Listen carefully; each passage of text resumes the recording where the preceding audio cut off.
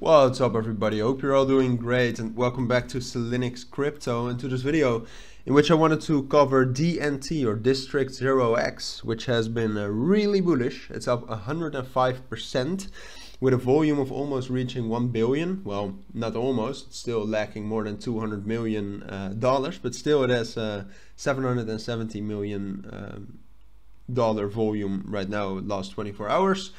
Volume uh, is also 7.15 times the market cap. That's exceptionally high.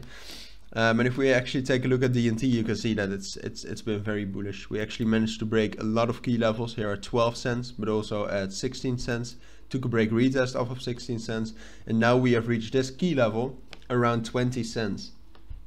And I'm gonna be honest with you, that level is very strong that 20 cents level and to be more specific that 19.5 cents up until 21.5 cents area because that's the broader area around it. It's always easier to just call out one price level but it's it's uh, more difficult in actual uh, in real life. That's a very strong area. So if for some reason we actually do manage to break above that so we would really need to close above 21 uh, 21 cents and 21 and a half cents excuse me, then we could uh, could get up to 25 cents. But I'd say the chances of that happening are, it's possible, but it's very slim. I'd say like 15%.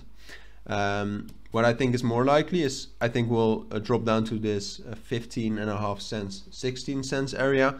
And I do think this will hold for at least like a couple of days. And from there, we'll either uh, get up to 20 cents again, which is possible. I don't think we'll break it then. There might be a big bigger chance to, to actually break it then if we get up to it uh, once more.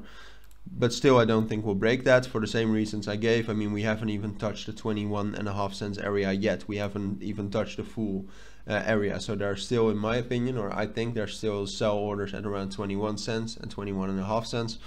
But it is possible to reach that area again and probably drop down again to 16 cents afterwards. But still, then there's profit to be made.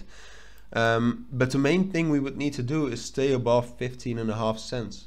That's the most important support right now because if that fails and if we drop through that level, which I mean, we can be honest with each other, uh, it's very possible. I mean, I've seen a lot of bull runs like these and that they just drop down 50% uh, over the over the next few days afterwards.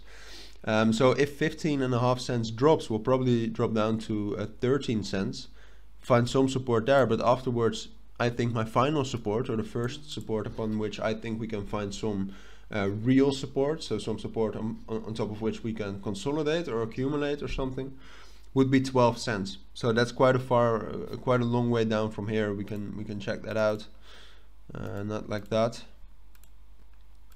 So that would be a decrease of 33%. And from there, I'll probably update it either in a new video or on Instagram or Twitter or something.